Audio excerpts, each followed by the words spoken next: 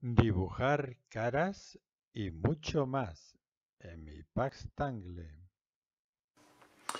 Hola amigos, hoy quería presentaros este Paxtangle que he hecho hace unos días. Tiene, como todo Paxtangle, es un dibujo muy abigarrado, muy lleno de cosas. Este dibujo en concreto tiene una particularidad, que es que he puesto en el dibujo varios rostros. Como veis aquí tenemos un rostro, una cabeza, vista de perfil, la he puesto cortada como si fuera un busto, como un pie. Aquí también hice otra, ¿veis? También cortada como un busto. Y aquí tenemos una tercera cortada con un busto. Luego dentro de, del dibujo hay muchísimos, muchísimos motivos eh, curiosos. Mm, por ejemplo, están las manos. He puesto eh, tres, tres bustos y he puesto dos manos. Dos manos. Una aquí abajo y otra aquí arriba. ¿Veis? Unas manos muy gorditas y muy graciosas. Y he, puesto también muchos, muchos rostros. Aparte de los bustos estos, he puesto muchas caras. En esta especie de pulsera he puesto una serie de caras, a ver si la enfoco. ¿Ves? Unas caritas. Mm, voy a verlo un poquito más de cerca. Más cerca, más cerca, más cerca, más cerca. ¿Ves? Vamos a ver. Una pulsera de caras. He puesto joyas. A ver, tengo más caras por aquí. Escondidas, en el, camufladas en el, en este, mm, esta maraña de dibujos. Aquí hay otra cara. A ver, ¿ves? Otra cara. Aquí en esta esquinita hay otra cara aquí escondida en la base del... ¿Ves aquí? Un perfil de la cara. En fin, lo he hecho como una especie de, de divertimento eh, en el cual pues poder enseñárselo a mis amigos y decir, a ver, a ver si encuentras todas las caras que hay aquí. Bueno, pues he dicho también como cosa curiosa que tenemos las manos, las manillas, tenemos los ojos, tenemos, a ver, un ojo en esta esquina, un ojo aquí, por ahí hay más ojos, debe haber algún ojo más suelto. Flores, joyas, he puesto pues una, una especie de diamantes, por aquí perlas, por aquí un anillo otro de gran diamante y un anillo aquí eh, camuflado. ¿Qué más? Y laberintos extraños, una cometa, en fin, hay muchas cosas. Como la finalidad del Paxtangle es relajarse dibujando, pues no se trata de hacer cosas preciosas, sino, bueno, si se pueden hacer bonitas y preciosas mejor, pero se trata de hacer cosas Mm, divertidas y que ocupen nuestra mente y, nos ayuden a relajarnos. Es decir, no hay que complicarse y pensar, hoy me ha salido bien, me ha salido mal. A mí me parece que ha quedado precioso y a quienes le he enseñado este dibujo, pues les ha parecido muy bonito y espectacular. Para mucha gente ha sido muy espectacular y no es una cosa de gran dificultad. Para las cabezas que he dibujado en mi, en mi Paxtangle, he usado este, este esquema. Para las cabezas frontales he usado el esquema de hacer primero una circunferencia, dividir esa circunferencia en dos partes iguales, voy a hacerlo apretado para que se vea bien en el vídeo, en dos partes iguales y dividirla también en vertical en dos partes iguales, prolongando esta línea auxiliar. ¿Vale? Luego he situado mm, en la mitad de este radio y en la mitad de este radio los un lado de un rectángulo que baja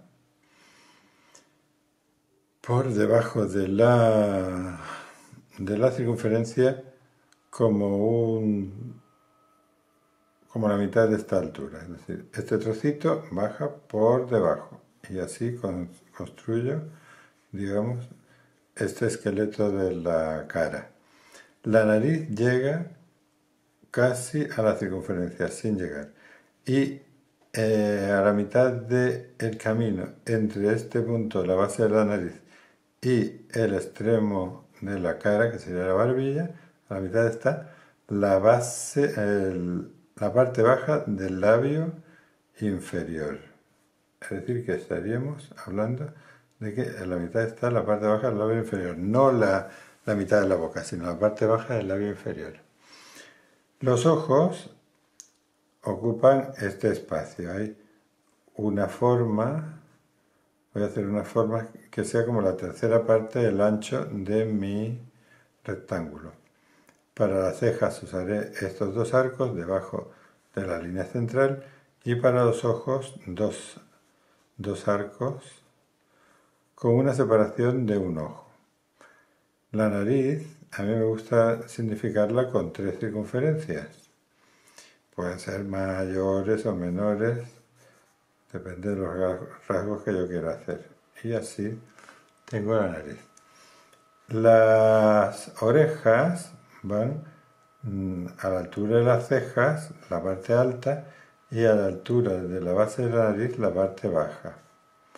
Así que y a los dos, naturalmente a los dos lados de, la circunferencia. Como se ven de, frente, pues no se ven muy exageradas. Una cosa sencilla. Y el óvalo de la cara va de la base de la oreja a la base de este rectángulo y llega otra vez. Y así tendríamos la forma de la cabeza. Ya solo quedaría añadirle el pelo, que puede ser un volumen que por supuesto sobrepase la, digamos, la forma del cráneo. El cuello es ancho, no hagáis cuellitos estrechos, es un cuello ancho está a los lados del, del rectángulo. Bueno, pues aquí hemos visto cómo es la cara vista de frente. La cara de perfil la hacemos en base también a una circunferencia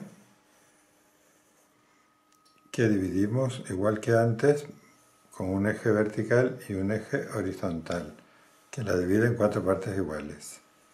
Esta circunferencia, que no tiene que ser exacta. Luego hay que hacer un rectángulo, igual que en, la, en el dibujo anterior, que sobrepase de la base de la circunferencia digamos que como la mitad de este, de este radio hacia abajo. Entonces tenemos una parte, otra parte y otra parte, tres tercios.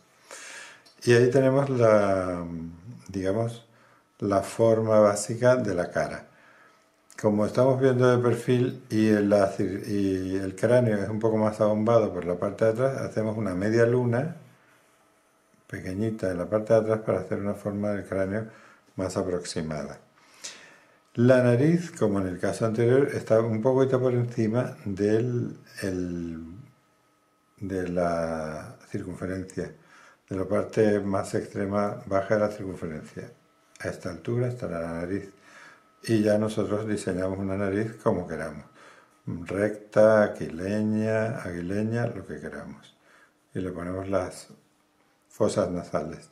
El labio sale de la mitad de este espacio y puede ser más o menos protuberante dependiendo de las formas.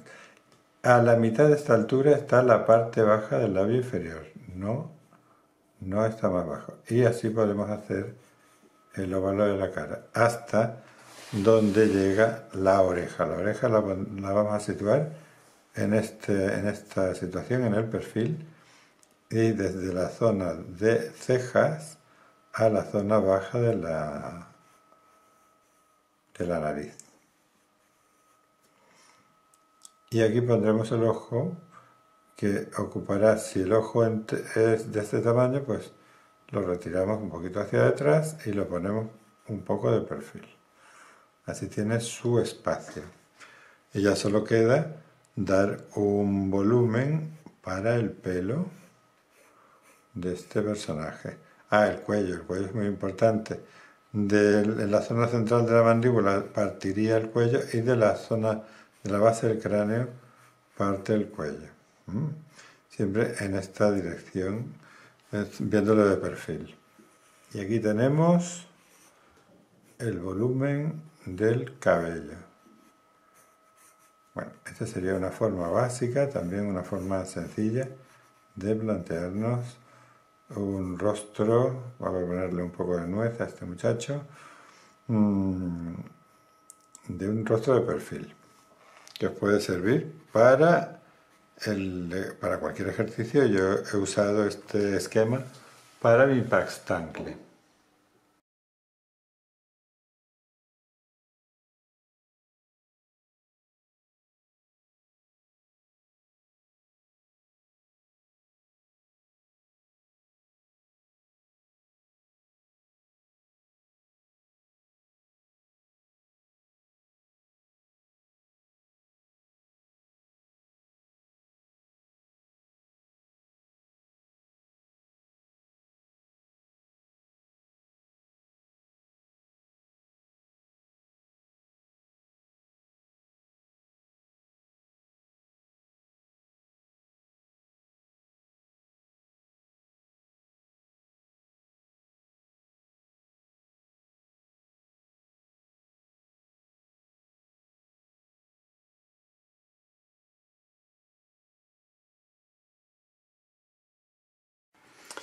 Como veis en las fotografías que os he puesto, eh, en este pequeño espacio, que veis que esto es una hoja pequeña, eh, se encuentra un micromundo muy rico, muy lleno de, de cosas interesantes y os animo a hacer este tipo de trabajos que resultan muy satisfactorios, muy entretenidos muy agradables y siempre pueden ser un objeto de debate entre con los amigos, incluso un objeto de regalo. En cualquier caso, yo pretendo que sea un regalo para la vista. Adiós.